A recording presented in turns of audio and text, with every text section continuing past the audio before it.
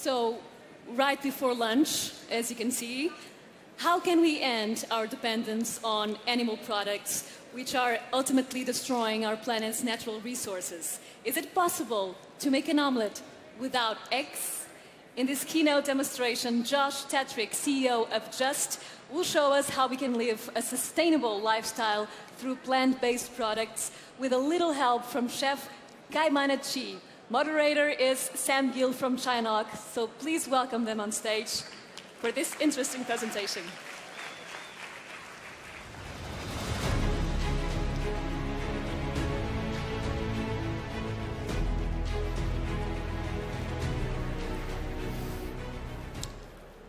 Hi, and welcome to a world first for Web Summit, the first time that there's been any kind of cooking demonstration or indeed anything related to technology and food, as far as we know at Web Summit. Had to be you doing it, Kaimana. Exactly, exactly. That's why I'm here, because food makes people happy.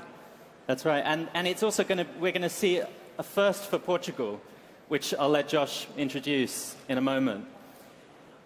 The reason we need to be talking about food at Web Summit is that, and particularly at Planet Tech, is that livestock sector contributes some 15% of global greenhouse gas emissions.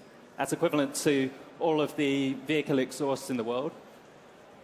If we're going to reach the you know, UN agreed two degree limit, let alone the 1.5 degrees that the IPCC is saying we need to reach within the next 12 years, we need to drastically reduce meat consumption. We also, for other reasons, need to think about the impact of livestock on environmental systems. You've got water pollution, soil pollution, air pollution associated with uh, with, with, the livestock sector and yep. the rise of antimicrobial resistance. So we need to reduce our meat consumption. I guess the place to start, Josh, is you know why employ technological innovation to meet that challenge and how? Yeah, I, the reason is because we have to, right? The reason is when you think about the food system today, the issues are people aren't eating, so about a billion people go to bed hungry every single night. Uh, the issues are people are eating in a very unsustainable way. The issues are people are eating in a very unhealthy way, right? You have type 2 diabetes accelerating, you have obesity accelerating, you have billions of animals living behind the walls of factory farms. The food system is not just, right? It's not fair, and we need to fix it. But the problem is the tools of the current food system are limited. We use processed sugar, we use conventional animal protein, we use soy, we use corn. It's not enough, right? It's like trying to solve the environmental challenge of transportation, but all you have is an internal combustion engine, right? It's not enough. So technology comes into it by helping us expand the toolkit. We need new tools to be able to solve the problems. Um, at the end of the day, it's also got to taste good, and that's where some of the best chefs in the world, like Kaimana, come into the picture. So, what is it that you're introducing for the for the consumer? So the, the mission of Just is just this. It's eating well is a basic right. We want to make it easy for everyone to eat well. We decided to start with a big challenge. We decided to start with the cheapest, most abundant source of animal protein on the planet, the conventional chicken egg. So about 1.1 trillion chicken eggs are laid every single year, every single year around the world. Most eggs come from places that if you saw it, you wouldn't be too proud of it, right? Use a lot of land, use a lot of water, because these chickens eat a lot of soy and they eat a lot of corn. Also, a lot of food safety issues. So we stepped back and we said, is there a new tool instead of the end result of a chicken's ovulation cycle? Could we find something else? And it turns out there are 357,000 species of plants in the world. So what our company does, Sam, is screen through all these plants. We look at the molecular features of the plants, we look at the functional features of the plants, and if we do our job well, we're able to use all this data to find plants that do the things we want. So in the case of our most important product, we found a little bean called the mung bean. In China, it's called the green bean. In India, it's called moong dal. And when we take this bean um, and we throw it in a pan, it actually scrambles, or even better, makes an omelet like an egg but it uses less land, it uses less water, it's free of cholesterol, and we think it's going to be the future of how people actually eat eggs. And what's how does it compare to an egg in terms of taste, but also in terms of the nutrient profile? Will yeah, I get my protein and, and, and, and you know my omega 3s and all the, the, the, micronutrients that I look for in an egg? So the, the product has relatively the same amount of uh, protein uh, as an egg has. It's free of antibiotics. It's free of cholesterol. Uh, Kaimana has scrambled this egg, I think, in Lagos, Nigeria, Mumbai, Shanghai, Beijing, all across the South. Um, you know, it's really important when we do things like this that it, it doesn't just work uh, up on, here on stage, right? It's got to work in people's homes. Uh, it's got to uh, taste like people are familiar with, and we've been working for a handful of years to, to make that a reality. It's got to taste right, but it's also got to be coming in at the right price point, and it's Yeah. got to be convenient for people. How difficult are those, are, are those sort of elements to, to crack? So the, the, the instructions are pretty simple. You'll see my man doing here. It's scrambled like an egg. It's not any more complicated than that. Um, right now, the price it's about uh, four or five times more expensive than conve- a conventional chicken egg today. In the next couple of years, we want this to be below the cost of production of a conventional chicken egg. The point of what we're doing is not for vegans and vegetarians. If you're a vegan or vegetarian in the audience, thank you for eating well. Um, that's not why we're here, right? My, we're here. I see a few. Uh, we're here because of people like my dad. We're here because of all the folks out there that want to eat better, but often eating better is too hard. It doesn't taste good. It's too expensive. So really, what we're trying to do is make the ethical choice, right? The choice that's a much closer to our values, the cheapest and the tastiest. Because our theory goes, if we can make the ethical choice the cheapest and the tastiest, then everyone will do it, and that'll instigate the change we want. So you mentioned some of the markets you've been testing this out around the world.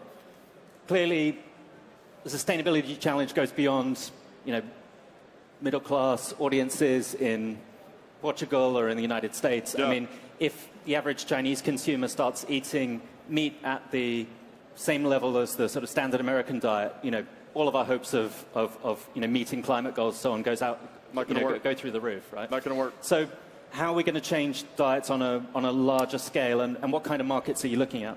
Yeah, I think there are, there, there are a handful of ways to improve the system. One is behavior change. I am not a big believer in behavior change, primarily because I think even an audience full of progressive technology, sort of astute people, I bet you most of you eat meat, right? It's very hard to change the behavior. So, how do you figure out a way to just get people to do the right thing by making the good thing taste really good, making the good thing be more affordable? And the kinds of products that we're focusing on, Sam, are eggs, and you'll see in here in a second, meat. We don't want people to change. We don't want to feed people space food.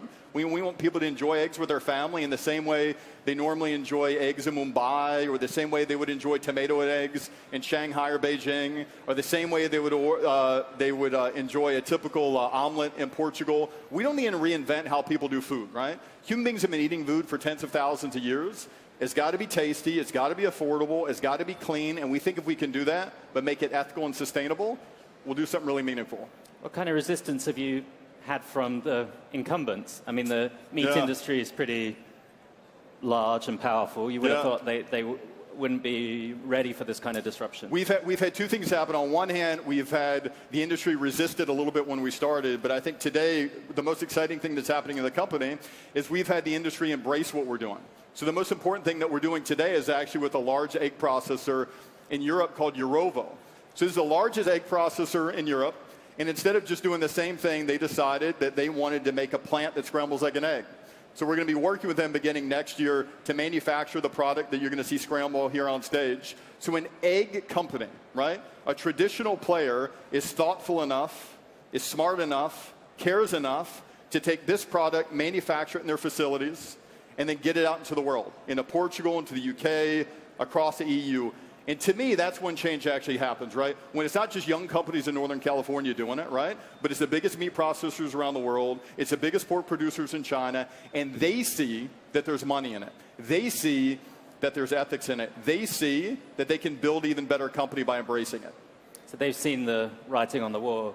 But what about governments? Do they, do they understand what's happening here? I mean, if you think about renewable energy, you know, governments, many anyway, are starting to recognize the importance of the energy transition. Yeah. Either putting in the incentives, the tax breaks, or through R&D funding, you know, Yeah. supporting the basic research. Do you get that kind of support from, from Oh, governments for you know, the so- transition in food? So truly, some governments get more than others. Uh, Singapore is at the tip of the spear of actually getting it.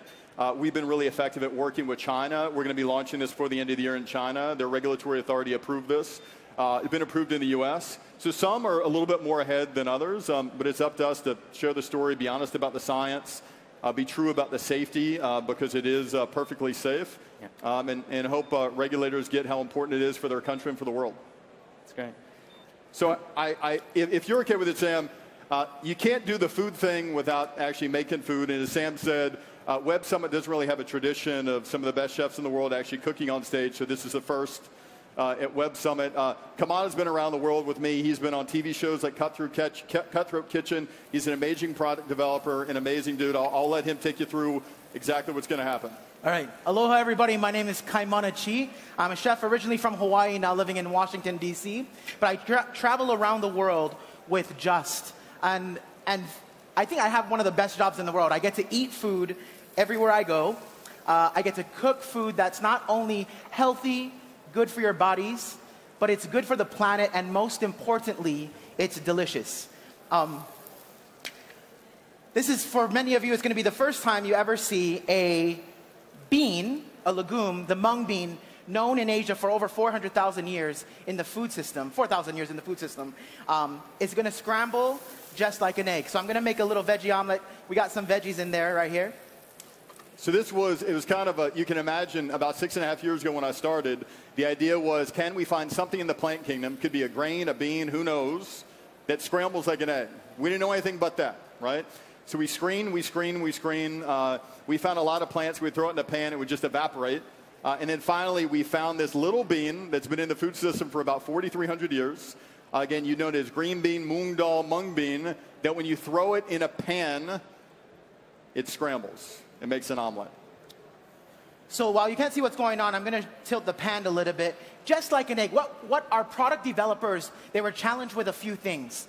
Uh, not only did they have to get the texture of an egg correct, and the taste, the versatility of the taste of an egg, but one of the most important things was when the average home cook took just egg home, the egg had to behave just like a regular chicken egg would in a pan because we cannot reteach the world how to cook eggs. So, if I hold this up a little bit, just where the heat is concentrated in the pan, uh, you're gonna start to see gelation, the egg coming together. I've had the awesome experience of cooking eggs around the world. So, you can make it very, very custardy and soft like they do in France with butter and uh, you could cook it like in Japan with sesame oil and soy sauce and make a nice savory egg. In Denver, you can make a Denver omelet, which is uh, meaty and savory and, and a little bit more firm uh, texture. So everywhere around the world, people eat eggs a little differently. Uh, this is my first time to Portugal. I had both a uh, very firm uh, curd egg and then I had a very, very creamy egg. So again, I think I have one of the luckiest jobs in the world. I just get to eat and cook. Um, so here we go. I'm going to just, we have our veggie omelet going. I'm going to roll this up into an omelet. And while you're making that kaimana, Josh, maybe you can tell us about the other product that kaimana is just starting to heat up here. Yeah, so in, in thinking about the food system, right, we want people to eat well. The tools the existing food system are not working, right? Soy, corn, conventional animal protein. The first part of our toolkit is the plant kingdom. Well over 300,000 species, almost entirely unexplored. We explore it, we find beans, we scramble. That's one. Second is meat. How do you solve the meat problem? Billions of animals are processed every single year. Processed, which is just another word for killed, requires lots of land and lots of water. How do we fix that, right? How do we approach that? So we decided a different approach. Instead of using a plant, we actually took cells from animals, right? Could be a chicken, could be a pig, could be a cow. We fed nutrients to those cells. We don't need to even look at the animal anymore. We don't need the land, we don't need the water, we don't need to deal with their waste. We actually manufacture meat in an entirely different, healthy, clean, safe way. It's called cultured meat or clean meat. And in a moment here, uh, Kaimana is going to show you uh, actually what it looks like. So this is, Kaimana, you want to just yeah. say so what again, the hell that is? We have a veggie omelet, a little bit peppers, onions, rolled right into an omelet again. Having the, the product perform just like a regular chicken egg would at home was definitely one of the most important requirements that our product developers had to work with in order to have a successful product. Uh, so you can, again, make a hard scramble, a creamy, soft custardy scramble, a nice omelet, a little frittata, uh, and have the same feeling of an egg, but just a little bit better for you and better for the environment. So you got so the plant that scrambles What the, the picture you see in the background, we call this just chicken. So just chicken is not made from a mung bean, okay? It's not made from soy. Just chicken is made from chicken. It's just chicken. The difference is we just need to kill the animal. Eventually, we're going to do beef. We're going to do pork. There are a lot of folks out there in the audience. My dad, my mom, folks that I was raised with in Birmingham, Alabama, they don't want plant based meat. They don't want vegan meat. They don't want vegetarian meat, right? They want meat. They want bloody, real, primal meat. I see my friend nodding his head in the front row. And instead of denying that, instead of pretending that isn't the reality that we live in, we said, what would it look like if we just make meat? Because human beings for 400,000 years, Sam, have been eating meat. First, they needed a spear to kill the animal. Now they need industrial machinery to kill the animal. But for the first time, we can give them real meat. this is the very first product that we're going to be releasing. It's called Just Chicken. Uh, we intend to release it before the end of the year. It'll be the very first time an animal product was sold without killing the animal. And we think in a handful of years, whether that's 10 or 20, the majority of the meat produced in this world won't need to be produced at the, under, at the other end of killing anything. We'll just need to sell, we'll just need nutrients, and we can feed the world in a much better way. And this is, you think, at least the first time that clean meat's been cooked in Portugal, I, you know. I would be shocked if, uh, if, it, if it has happened before. But, but on clean meat, I mean, the big challenges I would have thought are price, but also consumers' reactions. There's a kind of, there's more of like a yuck factor for people when they encounter Yeah. meat that's been cultured industrially, even if it is chicken. Yeah, it's, it's, it's a little different. That's for sure. I, I think at the end, what we want to do is we want to make it transparent. Uh, we want to make it open. Uh, we want uh, folks in this audience to, to visit the facilities that we actually make this meat. You know, today you don't want to visit the facilities that are actually processing animals for our food. We want to be open about it. We want to source cells from the highest end animals in the world, the best chicken, the best beef, the best pork. And at the end of the day, um, as we've seen in so many different areas, we think if we can make it taste really good and ultimately we can make it more affordable than what's out there today, that's when we'll get a systemic change. So I very bravely volunteered to try the Yes. Just Omelette. Yep, and Just Omelette. A- Anna, our MC, Yep. backstage was interested to come out and try, uh, the, you're, uh, try the chicken. You're, you're the chicken taster. Thank you. Yeah.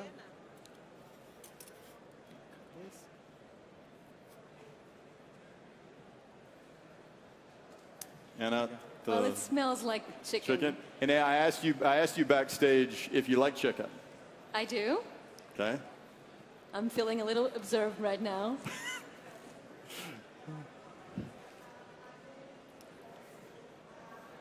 What do you think? It could fool me. Good. What do you? it's very good. Thanks, Anna. What do you think, Sam? Yeah, this, I mean, it tastes like egg. Uh, it tastes, tastes like a very nice omelette. Well done, Kaimana, it's great. Thanks, Sam. Fantastic. Well, thank you so much for Thank you. introducing this World First, World First for Web Summit. You bet. And, and for Portugal in terms of clean meat. We wish you all the best. Thank you. You bet. Thank you. Well, with, Thanks all.